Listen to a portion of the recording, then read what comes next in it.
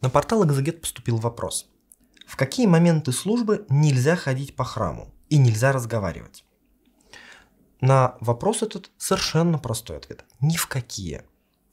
По той простой причине, что мы собираемся в храм для того, чтобы предстать в молитве перед Богом. Для того, чтобы принести наши грехи в покаянии да, и получить прощение их. Для того, чтобы получить присутствие Христова в своей жизни через преподаваемые дары тела и крови Христовых.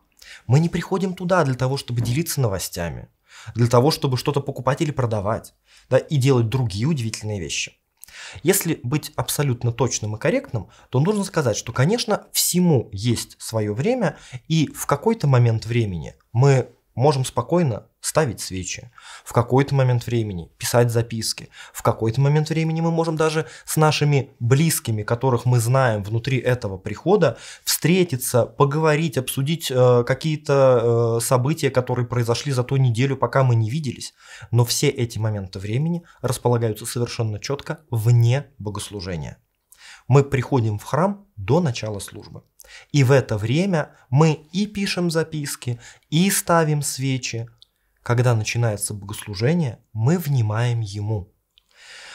Всякое бывает, в храм может войти человек, который не знает об этом правиле, да, и, как нам кажется, нарушает наш молитвенный покой. В данном случае наша задача собраться с собственной молитвой и самим так не делать.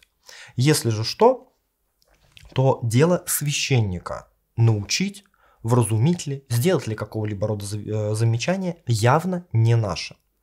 По поводу же разговоров с нашими близкими, дорогими и знакомыми э, членами этого же самого прихода, то для них есть прекрасное время по завершении богослужения.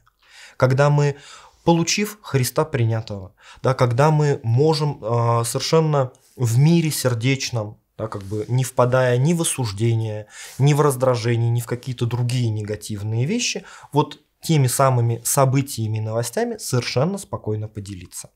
Во время богослужения, повторяюсь, нет незначимых моментов. Потому что звучит ли евангельское слово, приглашает ли диакон к общей молитве, возглашая прошение Ектинье, или хор призывает отложить мирское попечение, или священник выходит с дарами, какой из них не значим? Значимы все.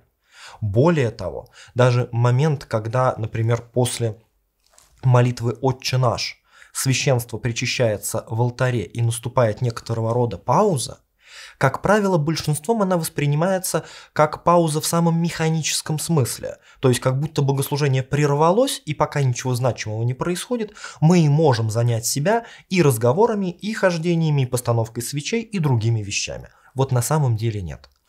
В рамках э, литургического собрания мы все ищем взаимоуважение да, и внимание к нуждам друг друга.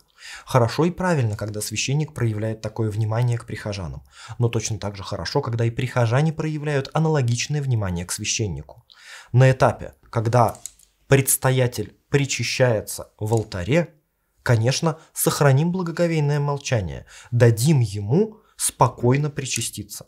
Потому что дальше ведь он выйдет с причастием к нам, и мы будем хотеть принимать причастие тоже в благоговейной тишине, да, которая сопровождается только молитвенным пением хора.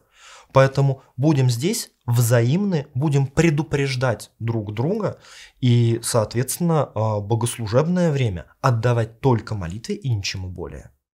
Внеси свой вклад, оцени, подпишись и поделись этим видео.